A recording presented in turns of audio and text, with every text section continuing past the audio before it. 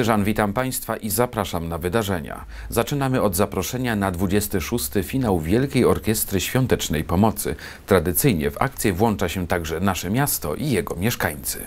Wielka Orkiestra Świątecznej Pomocy rusza 14 stycznia. To akcja pozyskiwania środków na wsparcie polskiej medycyny. Jej najistotniejszym elementem jest jednodniowa zbiórka publiczna, która odbywa się co roku w drugą niedzielę stycznia. Angażuje się w nią ponad 1700 sztabów w całej Polsce i na świecie oraz 120 tysięcy wolontariuszy kwestujących tego dnia na rzecz WOŚP. Nie brakuje też sztabu Wejherowskiego Centrum Kultury i wolontariuszy działających w naszym mieście. W tym roku zebrane pieniądze zostaną przeznaczone na zakup sprzętu ratującego życie noworodków.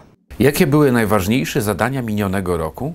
Drogi, inwestycje, społeczeństwo, kultura. Jaki pod tym względem był 2017 rok w Wejherowie? Można pokusić się o stwierdzenie, że rok 2017 dla Wejherowa był przełomowy, a to ze względu na podjęcie znaczących decyzji, które zmienią obraz i funkcjonowanie miasta. Mowa o wielkich przedsięwzięciach, chodzi szczególnie o węzły bezkolizyjne. Kontynuowano budowę pierwszego etapu węzła Zryw i rozpoczęto realizację węzła Kwiatowa. Są to wyjątkowo duże zadania i w związku z tym e, nikt do tej pory raz nie odważył się przygotować tych e, zadań, a dwa przystąpić do ich realizacji. Zadania mają przyczynić się do usprawnienia komunikacji w naszym mieście, zwłaszcza zniwelowania narastających korków. One są bardzo ważne też z punktu widzenia komunikacji miejskiej, czyli przepustowości między jedną częścią miasta a drugą częścią miasta.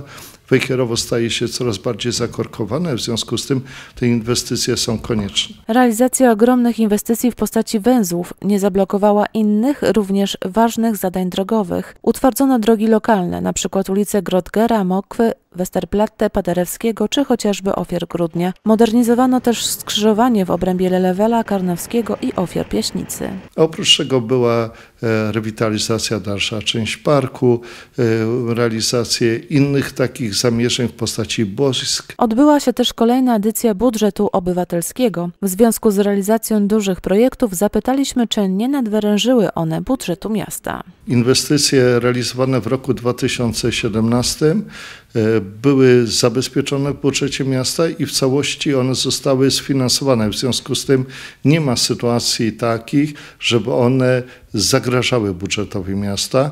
E, wszystko to zostało zrealizowane w taki sposób, że jest to spięte i spięte w sposób bezpieczny od strony finansowej. Pozwoliło to na podjęcie jeszcze w 2017 roku nowatorskich decyzji. Między innymi Wejherowo jako pierwsze miasto w województwie pomorskim uchwaliło, że uczniowie szkół podstawowych zameldowani Wejherowie od 2018 roku będą korzystać z darmowej komunikacji. Koszty związane z przejazdem pokryje miasto. Szereg podjętych decyzji i między innymi zabezpieczenie budżetu, wzór polityki zarządzania i właściwa perspektywa rozwoju spowodowało, że Polska Akademia Nauk doceniła na niwie ogólnopolskiej działania władz miasta miasta i kapituła konkursowa uznała Wejherowo za symbol polskiej samorządności 2017. Wiemy, jaki był dla Grodu Wejherowa 2017 rok, a jaki będzie bieżący? Nasza reporterka zapytała o plany związane z Wejherowem prezydenta Krzysztofa Hildebrandta. Przyszłoroczne dochody wyniosą ponad 200 milionów złotych, natomiast wydatki ponad 215 milionów złotych. Deficyt w kwocie ponad 7 milionów złotych zostanie sfinansowany z wolnych środków, pożyczek oraz kredytów. Wskaźnik za zadłużenia miasta w 2018 roku wyniesie 28,3%, co nie stanowi nawet połowy 60% progu przyjmowanego za wartość dopuszczalną. Jeżeli mówimy o kredytach, to poziom kredytów w roku 2018, bo ten budżet został niedawno przyjęty, jest 28-29%, czyli można powiedzieć, że bardzo bezpieczny czy nie ma tu żadnego zagrożenia. Jaki zatem będzie 2018 rok? Rok 2018 to jest rok, w którym będziemy duże inwestycje kontynuować. Szczególnie dotyczy to przejazdu bezkolizyjnego, czyli węzła bezkolizyjnego w obrębie dworca. Chcemy zrobić również rondo w ulicy, wspólnie z powiatem, w ulicy mm, Chopina Y, mm, tam gdzie jest skrzyżowanie z ulicą Nadrzeszną i Staromuńską.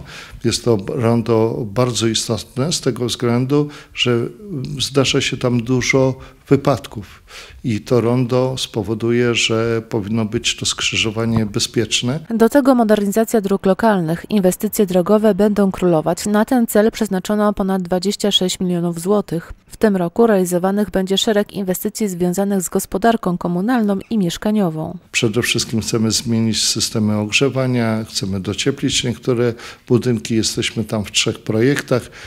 Mamy dofinansowanie, udział całości kwoty to jest ponad 5 milionów złotych. W 2018 roku stare źródła ciepła zostaną wymienione na ekologiczne w ponad 400 podmiotach. Zaplanowano także dalszą realizację projektu dotyczącego rewitalizacji. Modernizacji ulegnie Park Kaszubski, ulica Kopernika oraz przyległe tereny. Nową szatę zyska teren między ulicą Wałową a Judyckiego. Centralnym elementem tego założenia parkowego będzie stylowa piękna altana z fontaną, z fontanną w środku.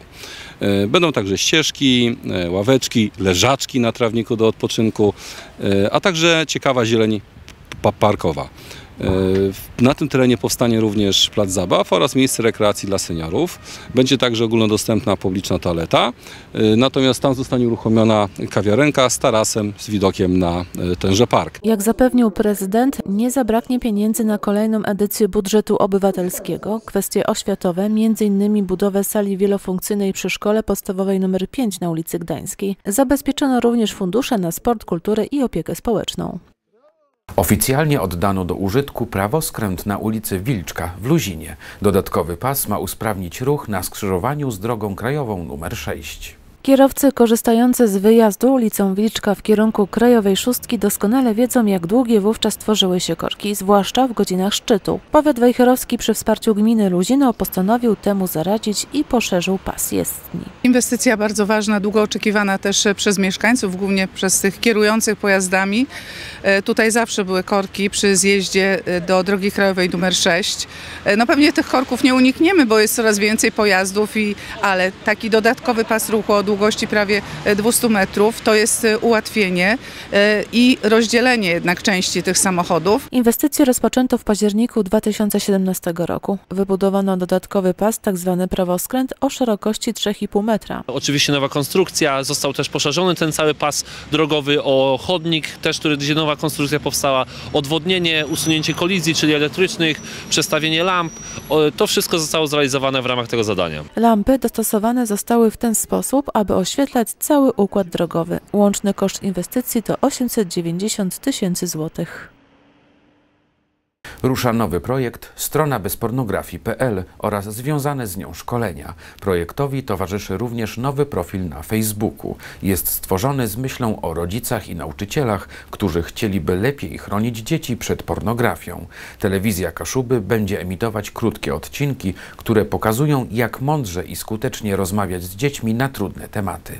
Na stronie www.bezpornografii.pl poza solidną dawką wiedzy na temat samego zjawiska, jego skutków oraz informatycznych narzędzi kontroli rodzicielskiej, kluczową częścią jest temat rozmów z dzieckiem. Organizatorzy akcji wyjaśniają dlaczego i jak warto rozmawiać o pornografii z dzieckiem. Możemy zobaczyć jak inteligentnie oraz łatwo przeprowadzić taką rozmowę. Aktorzy wyjaśniają też jak negatywne skutki społeczne niesie za sobą oglądanie pornografii. Z badań przeprowadzonych przez Instytut Profilaktyki Wynika, że ponad połowa dzieci w Polsce ma kontakt z pornografią zanim ukończy 12 rok życia, a aż 15% z nich ogląda treści pornograficzne co najmniej raz dziennie. Nie można udawać, że problem nie istnieje, dlatego telewizja Kaszuby raz w tygodniu będzie emitować krótkie filmiki ukazujące jak mądrze i właściwie przeprowadzić rozmowę z nastolatkiem na trudny temat.